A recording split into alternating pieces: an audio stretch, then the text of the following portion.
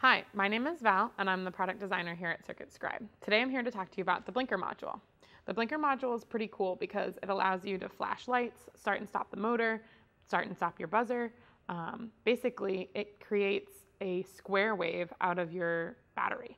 So instead of always having a high current, you're going to have your current be high and then low, and then high and then low.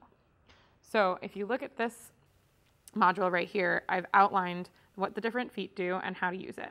So we have a power foot and a ground foot.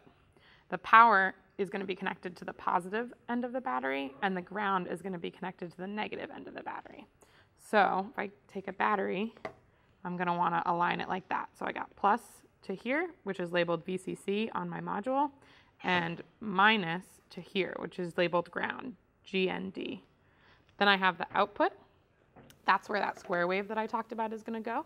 So from the power, we're going to go um, to the output, and instead of having that high all the time, basically light on all the time, you're going to have the light on for a little bit and then off for a little bit, on for a little bit, off for a little bit. Um, the dial right here is used to adjust the speed. So the way this module works is it has a 555 timer on it, and then this knob is a variable resistor. So by changing the amount of resistance that we give the 555 timer, we change the length of our square wave. Changing the length of our square wave changes how, changes how long the output is high versus low. So if I want a really fast blink, I'm going to turn my dial all the way one way, and I will have my, a very close together square wave where it's going to go high, low, high, low, high, low, high, low. If I want a really slow blink, I'm going to turn my dial all the way the other way and have it go high for a really long time and then low for a really long time, high for a really long time and then low for a really long time. Now we're gonna draw a circuit using the battery, the blinker, and the LED. So now we have a working blinker circuit.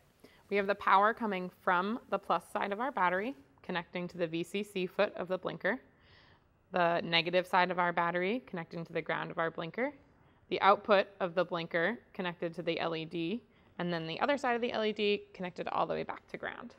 So you can see here we have the output of the uh, blinker component flashing green, letting you know that it's working, and then the um, LED is flashing in time with it.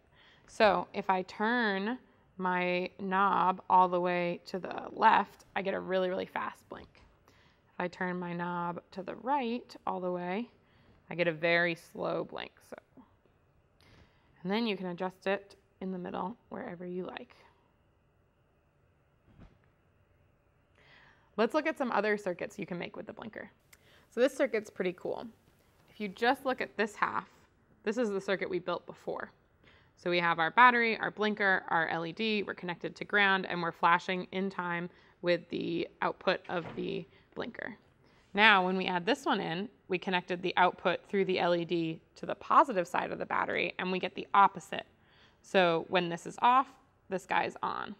When this one's on, so is this guy. So we're able to flip back and forth between the two LEDs. And we can still adjust the speed.